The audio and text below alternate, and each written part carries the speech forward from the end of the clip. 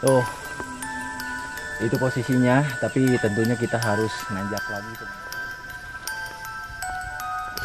Ini puncak bukitnya, teman-teman. Kerung hijau, kerung hijau.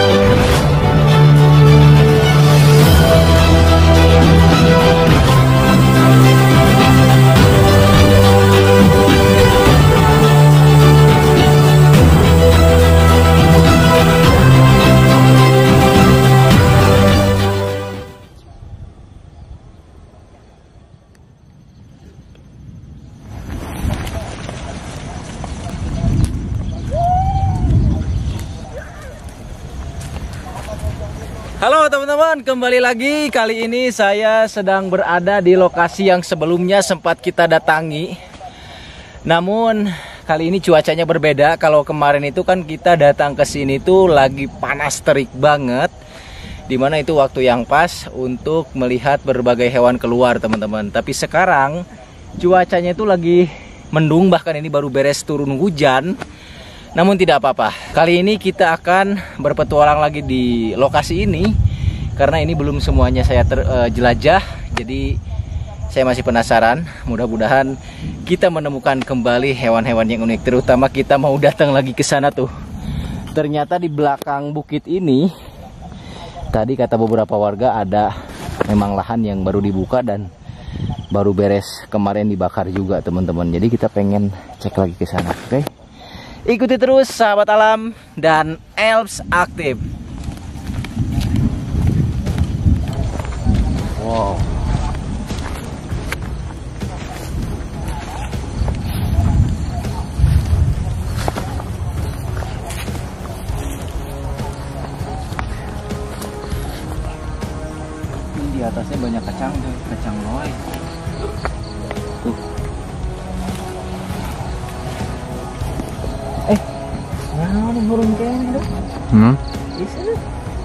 Itu ya si Mang di tengah?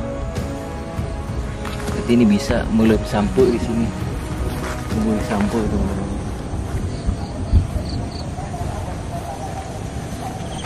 Ya, lihat teman-teman.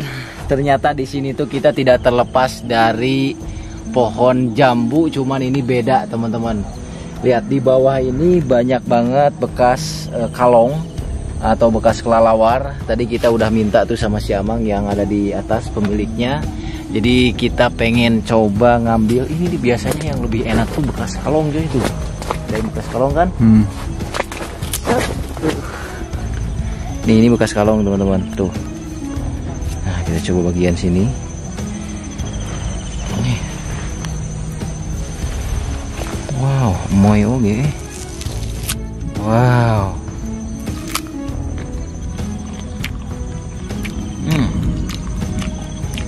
Manis eh.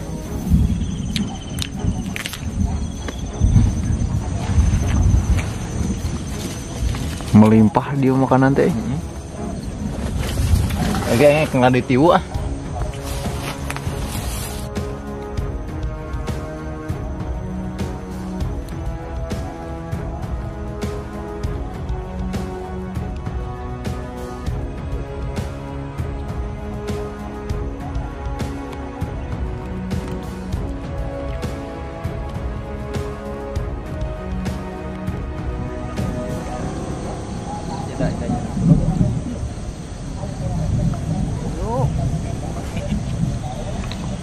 Mah pengen tebu lagi, barusan udah minta sama si bapak, langsung kita coba ngambil lagi.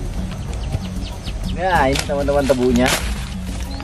Tuh, jadi ini tuh lokasi yang memang kemarin kita datang lagi ke sini sambil kita lewat sama si bapak. Eh si bapaknya ada. Jadi kita bisa aja nih minta tebu lagi. Kita coba makan nanti di saung teman-teman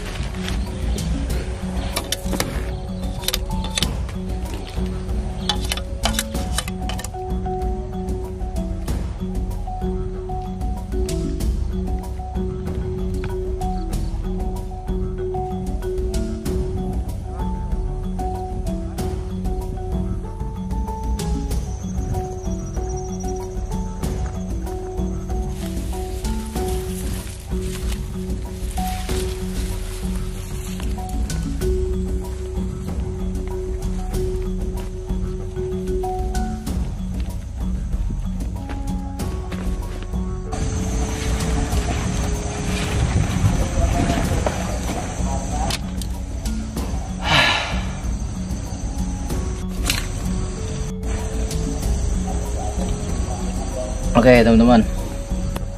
Lihat di depan. Pemandangannya nikmat banget. Ada kebun teh Ada sawah Lalu ada perbukitan. Yang perbukitannya ini diisi sama eh, pertanian warga. Jadi ini selama beberapa minggu ke belakang Baru kali ini hujan teman-teman. Tuh lihat ini juga. Barusan kita nerobos nerobos lewat semak-semak yang memang banyak airnya. Jadi kelihatan di sini. Tapi di sini memang sengaja saya barusan ngetes ketahanan dari karena dari si Elps aktif ini untuk durability-nya, untuk kenyamanannya dan sejauh yang saya gunakan ketika saya ngonten-ngonten di medan-medan yang terjal ataupun yang sulit apalagi saya biasanya lebih ke trekking sama lari-lari kecil. Kemarin pun ini udah kita tes kan waktu di pendakian Pepandayan dan ini keren teman-teman. Celana ini benar-benar rekomendasi banget buat kalian semuanya yang suka berkegiatan outdoor. Celana waterproof aktif yang saya gunakan kali ini sudah berbahan 100% nilon gore with inner polar. Karakteristik bahan sudah waterproof dan windproof Look temperatur ini sangat hangat banget, terus breathable tentunya tidak panas saat beraktivitas.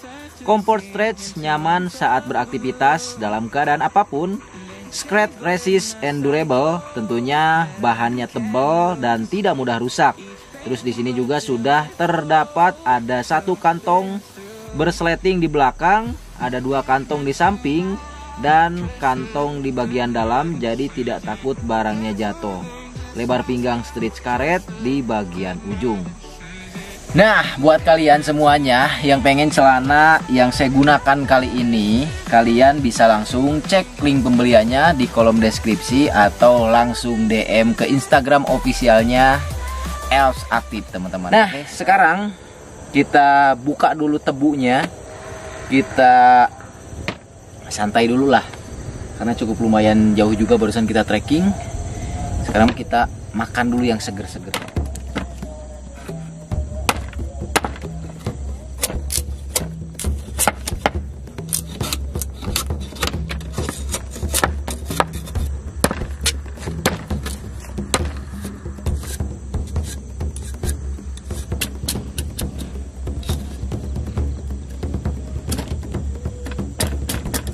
Lihat teman-teman barusan ketika saya mau makan tebunya ada pergerakan kayaknya barusan ada pertarungan antara ikan cana sama ular air cuman ular airnya kayaknya udah kabur. Tuh itu ikannya coy. Oh, oh itu pahnya ikan gabusnya. Mana pai pai itu oke lihat teman-teman. Lihat kita nemu cana. Ini keren coy coraknya. Ada keringnya ini eh. Lihat. Ini barusan lagi mau dimakan sama ular air nih. Cuman ular airnya keburu kabur. Nih. Jadi ekosistem di pesawahan sekelas ikan gabus pun memang ada pemangsanya sendiri. Selain si ikan gabus ini merupakan ikan predator atau ikan yang bersifat kanibal, dia juga memang ketika berukuran seperti ini memiliki pemangsanya. Salah satunya adalah ular air, teman-teman.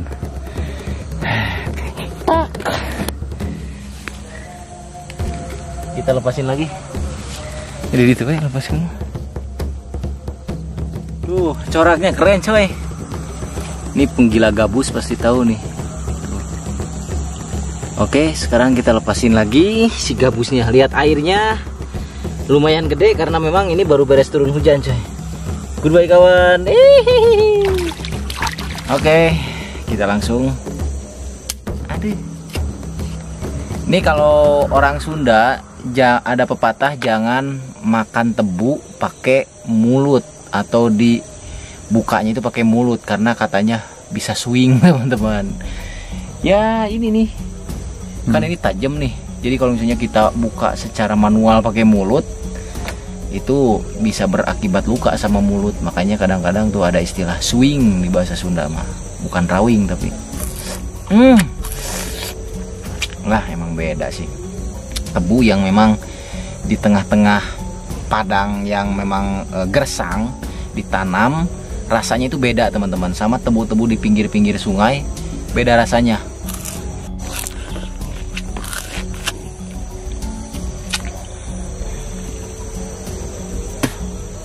Hmm, sure.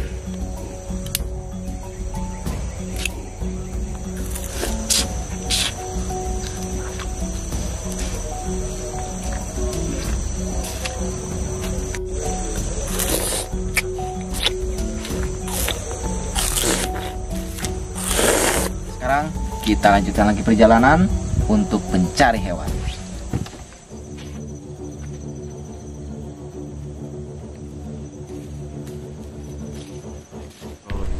Tuh, itu posisinya, tapi tentunya kita harus nanjak lagi teman-teman. Posisinya lumayan jauh juga sih, tapi gak apa-apa.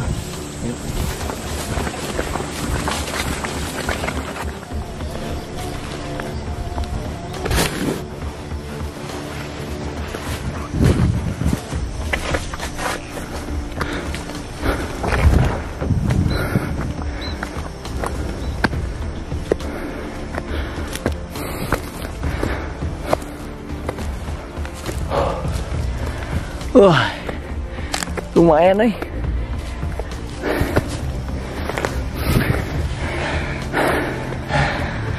Kemarin kita naik ke sini posisi lagi panas. Sekarang lagi adem kayak gini pun masih tetap capek banget coy. Keren pemandangannya eh.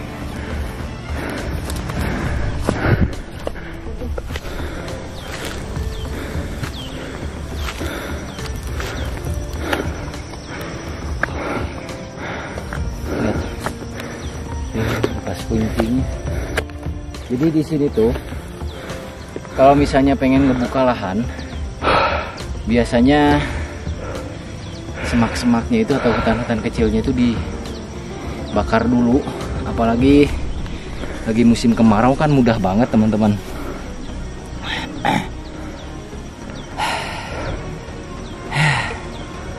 Asli capek. Ini puncak bukitnya teman-teman. Di sini kalau misalnya lagi musim angin, ini ramai banget. Lihat, banyak tiang kolecer atau tiang kicir, baling-baling bambu tuh. Ke sana semuanya. Jadi ini memang lokasi perbukitan benar-benar paling tinggi coy. Tuh, bahkan di sini sampai ada saung keren mobilnya yuk hmm.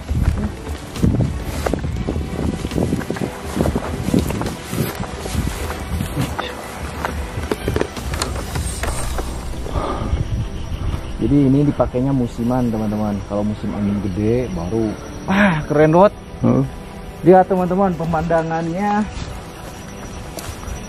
wah, membentang luas tuh Set. ya ini di daerah saya semuanya itu perbukitan Namun perbukitan tersebut rata-rata sudah menjadi perkebunan warga. Alhasil perbukitan-perbukitan tersebut itu gundul alias botak teman-teman. Oh, kadieu dot anu bekas pembakaran teh dot. Aduh, itu mana?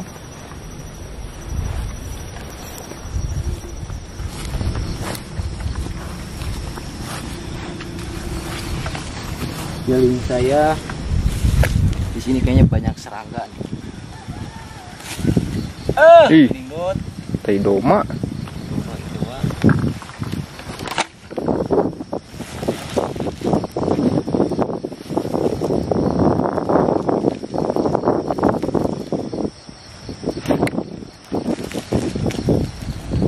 Sih mah.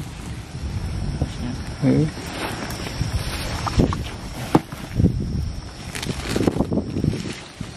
Jadi ini pupuk teman-teman. Biasanya sih saya nemu banyak sekali jenis-jenis serangga.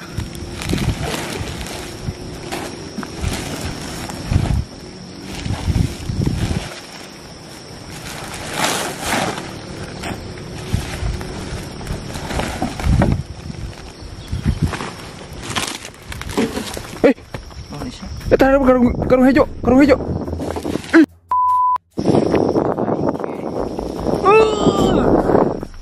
Momen coy, momen, momen lihat.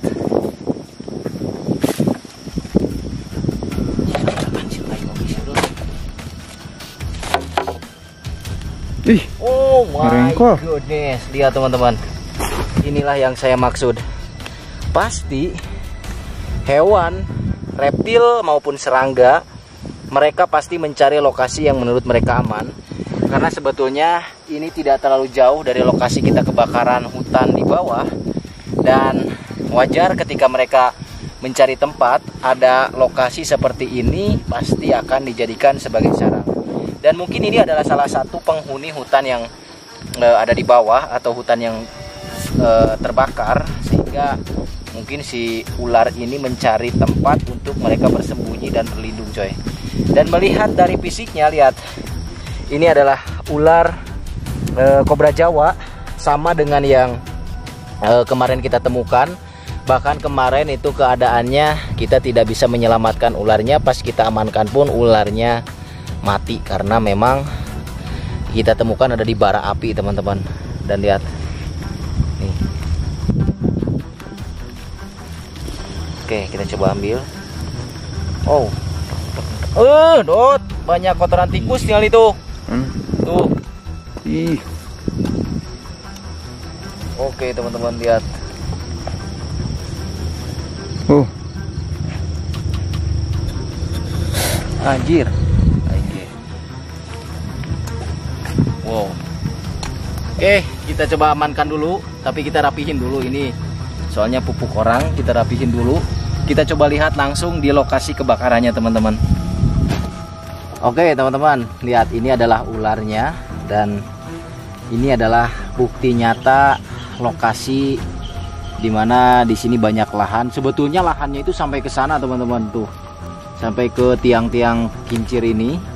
Sebelah sananya ke bawahnya juga memang banyak yang eh, terbakar seperti ini coy.